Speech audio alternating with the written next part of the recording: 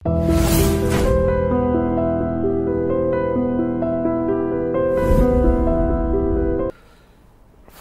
నాకు కొంచెం Giddalur area Markapur area sensitive bombing culture Rayalaseema culture అది ఉంటుంది. ఎవరండి? గిద్దలూరు మార్కాపూర్. అప్పట్లో ఉండి బాంబ్స్ అవి. నన్ను గిద్దలూరు పంపించారు గిద్దలూరు మార్కాపూర్. మార్కాపురం ఇన్ఛార్జ్ నాకు పెట్టారు.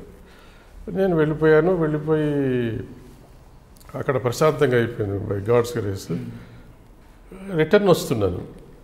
రిటర్న్ వచ్చేసరికి ఇంటికి వెళ్ళే దారిలోనే DPO district police office SP గారికి మాట చెప్పిపోదాము అని డిపిఓకి వెళ్ళా. వెళ్ళేసరికి వాడు రాజశేఖర్ అని ఒక ఎస్ఐ ఉండేవాడు. వాడు గేట్ దగ్గర కనిపించి ఏడుస్తున్నాడు. ఏమయ్యా ఏమైందంటే ఇలాగా రాజమోహన్ రెడ్డి అనుచరులు ఆయన అప్పుడు ఎంపీ పోటీ చేశాడు వాళ్ళు టీడీపీ అప్పుడు. వచ్చి నన్ను కొట్టేసి మీకు సినిమా ఉంది చూడండి సినిమాలో చూపిస్తుంటారు అలాంటి తాళం పగలగొట్టి మనుషులు తీసుకుపోవడం. అలా చేశారు నన్ను కొట్టారు. ఈ డిఎస్పితో మాట్లాడుతున్నారు నాగేంద్ర కుమార్ అప్పుడు డిఎస్పి అంజనీ కుమార్ గారు ఎస్పీ. అంతలో నేను వెళ్ళేసరికి డిఎస్పీ గారిని పంపించారు మొదట. ఆయన నుంచి ఎప్పుడు రెస్పాన్స్ రాకపోతే నువ్వు వెళ్తావా? అన్నాను. నేను అన్మైండ్ఫుల్గా నేను వెళ్ళాను పక్కనే పోలీస్ స్టేషన్. వెళ్ళి కూర్చున్న తర్వాత సాయంత్రం అయిపోయింది. తాగి ఉన్నారు మనుషులు. చుట్టూ రకరకాల మనుషులు ఉన్నారు. Rural police station Ongole. Road మీద ఉంటుంది. అచ్చా అందులోకి వచ్చి ఎస్ఐని కొట్టి లాకప్లో ఆ, తీసుకెళ్ళి మీరు వెళ్ళేసరికి కూడా ఇంకా లాక్డౌన్ అన్నారు వాళ్ళు ఆ, ధర్నాని కూర్చున్నారు. డిఎస్పీ అందుకు రాలేకపోయాడు అక్కడ. ఈలోగా బ్యాలెట్ బాక్సులు వస్తున్నాయని ఆగిపోయినాయి రోడ్డు మీద. ఇప్పుడు బ్యాలెట్ బాక్స్లు ఆగిపోయింటే ఎవడు ఎత్తుకెళ్ళిపోయి అనుకోండి ఎంత ప్రాబ్లం అంటే అంటే ఇప్పుడు అవన్నీ మనకు వస్తాయి. అప్పుడు పెద్దగా ఐడియా ఉండేది కాదు. అయిన తర్వాత నేను వెళ్ళాను. వెళ్ళిన తర్వాత వాళ్ళు ఇట్లాగే పోలీసుని తిడుతున్నారు. చాలా అబ్యూజివ్ లాగా. తిడుతుంటే నేను చెప్పాను ఏం జరిగిందండి? ఏంటి? అంటే నన్ను కూడా తిట్టడం స్టార్ట్ చేశాను. నేను చెప్పాను నాకేం తెలియదు ఇప్పుడు వచ్చాను. మీకు నేను సమాధానం చెప్పాలి అంటే ఏం జరిగిందో నాకు ముందు తెలియాలా? తెలిస్తే మా వాళ్ళు విచారణ చేస్తే మీరు అందరూ బయటికి పోండి అని గెట్ అవుట్ అంటాడా? అని బయటికి పోమంటే గెట్ అవుట్ అన్నాడు అని చెప్పి ఇంటర్ప్రిట్ చేసి దాన్ని కూర్చున్నారు. ఎవరు? ఏ వర్గం అండి టీడీపీ వర్గం. రాజమోహన్ రెడ్డి అని చెప్పి. అప్పుడు ఎమ్మెల్యే ఇద్దరు హరిబాబు ఉండేవాడు. తర్వాత ప్రభాకర్ రావు గారు డీసీ ప్రెసిడెంట్ ఈ యాక్చువల్గా అందరూ నాతో బాగానే ఉంటారు. ఆ వెనకున్నోడు క్రియేట్ చేసిన దానికి వాళ్ళు అవును. నేనేమన్నాను మీరు కొద్దిసేపు బయట ఉంటే మాట్లాడి మా వాళ్ళతో ఏం జరిగింది మీకు సమాధానం చెప్పు. అంటే గెట్ అవుట్ అన్నాడు అని చెప్పి ఇంటర్ప్రిట్ చేస్తే తాగి ఉన్నారు అంత సాయంత్రం. దాన్ని కూర్చున్నారు ఎవరు కదలరు. కదలకపోతే ఎస్పీ గారు నాకు ఫోన్ చేస్తున్నారు. ఏమైంది అంటే ఇప్పుడు మనం అలాంటి సిచ్యువేషన్లో ప్రెసిపిటేట్ చేయకూడదు సిచ్యువేషన్. చూస్తున్నాను సార్ వీళ్ళు చాలా వైలెంట్గా ఉన్నారు బట్ ఐఎమ్ ట్రయింగ్ అని హరిబాబు కొంచెం టీడీపీలో రెండు వర్గాలు. హరిబాబు వాళ్ళకి వాళ్ళకి పడదు. హరిబాబుని పిలిపించాను హరిబాబు వచ్చాడు he was talking to me so nicely అది ఆ బయట ఉన్న కొంచెం నచ్చల. నచ్చక ఇదయింది. అంతలో ఎస్పీ గారు అందరికి చెప్పేశారు. రాత్రి పన్నెండు అయింది పన్నెండు అవుతుంటే ఇంటెలిజెన్స్ తర్వాత డీజీ గారు అందరూ చెప్పి లాఠీ చార్జ్ చేస్తామని నేను మాధవరెడ్డి గారికి కూడా ఫోన్ చేశాను. అప్పుడు హోమ్ మినిస్టర్గా. మాధవరెడ్డి గారు ఒకసారి రెండు సార్లు ఫోన్ చేశారు నాకు. చేస్తే ఏమయ్యా అంటే ఏ సార్ వీళ్ళు రూ- రూలింగ్ పార్టీలో ఉండి అపోజిషన్లో బిహేవ్ చేస్తున్నారు? తెలుగుదేశం వాళ్ళు మీ వాళ్ళు. ఎక్కడ నేను నాకు చాలా చనువు ఉండేది దానికి అంటే "ఆ, చూడండి మనోళ్ళు కదా జాగ్రత్త అది ఇది అంటే ఇంకేం లేదు సార్ లాఠీ చార్జ్ చేస్తారు. ఆయన రెస్ట్లెస్గా ఉన్నాడు. నేను పడుకోవాలి ఫోన్లు వస్తున్నాయి. మీరు శుభ్రంగా పడుకోండి సార్ నేనేమి ఇబ్బంది పెట్టను. వాళ్ళు కంట్రోల్ చేస్తాను అన్నాను అనేసిన తర్వాత ఎస్పీ గారు వచ్చారు.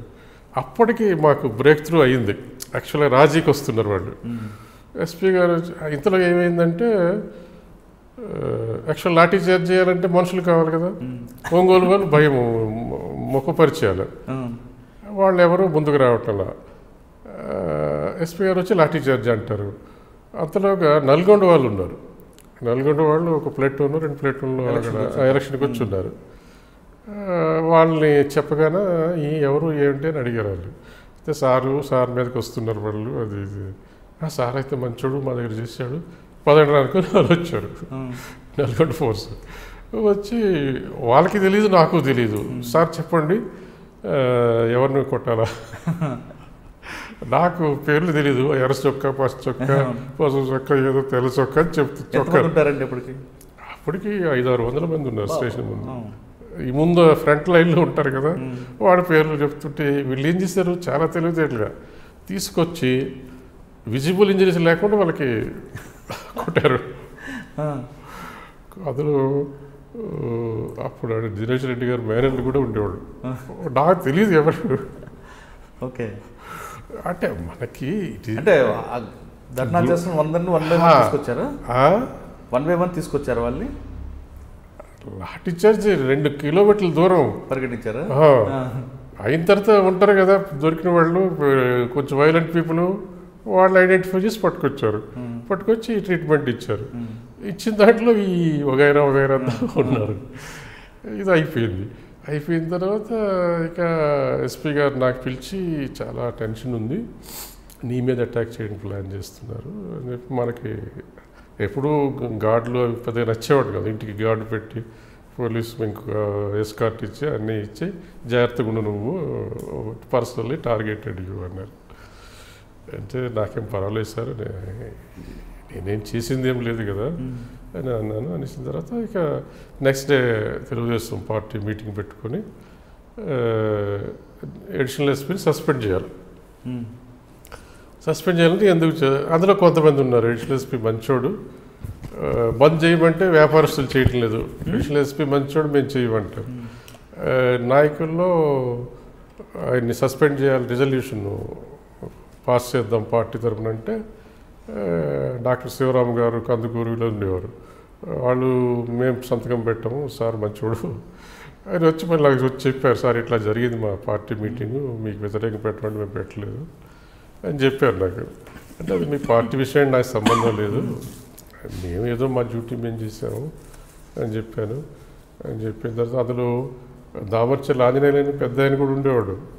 ఆయనకి ఉమ్. వాళ్ళ బిజినెస్ పాపం ఆయన టాటా ఎస్టేట్ కారు ఉండేది. ఆ కారు ఎప్పుడైనా నన్నే ఒక్కటే ఎక్కించేవాడు ఆయన. ఆయనకి పాపం చలిస్తూ నేనంటే ఆయన, ఏరా ముస ఏమి ముసలైనా నీకు మరి పోలీసులు బాగా కొట్టారంట అంటే ఆ మందిలో నేను ఆంజనేయులు అని ఎవరికి ఏం తెలుస్తుంది కొట్టారో అని ఆయన అంటుండాడు అన్న తర్వాత నెక్స్ట్ రీఎలక్షన్లో కూడా శివరామ్ గారిని వాళ్ళని పెట్టాము. ఆంజనేయులు గారు ఒక ఊ- ఊరికి వెళ్ళి అడిషనల్ ఎస్పీ గారు వచ్చారనగానే ఈ ఊరికి ఇంకో దారి ఉందని అడిగి ఆ దారి నాకు ఎదురుగా రాకుండా. అంత ఇది ఉండేది అంటే మీరు ఆ- తీర్మానం తర్వాత మీ మీద యాక్షన్ తీసుకున్నారా? అటు మామూలు బదిలీ చేశారండి ఎవరి? నాక? ఇంకా స్టబర్న్ అయిపోయింది అది. అయిపోయిన తర్వాత నేను చెప్పాను కదా తెలుగుదేశంలో మన ఇంటెలిజెన్స్ రిపోర్ట్ నార్మల్లీ మన తప్పే లేదు ఫేవరబుల్గా ఉంది. వాళ్ళు పార్టీ రిపోర్ట్ ఒకటి తెప్పించుకుంటారు. పార్టీ రిపోర్ట్లు సేమ్ రాశారు వాళ్ళు. మన రూలింగ్ పార్టీలు ఉండి అపోజిషన్లో బిహేవ్ చేశారు పోలీసులు అటాక్ చేశారు ఇందులో ఎడిషనల్ ఎస్పీ తప్పలేదు అని రాశారు వాళ్ళు. రాసిన తర్వాత చంద్రబాబు నాయుడు గారు నెల రోజులు ఎంత అయింది రిపోర్ట్స్ ఎంక్వైరీస్ అన్నీ?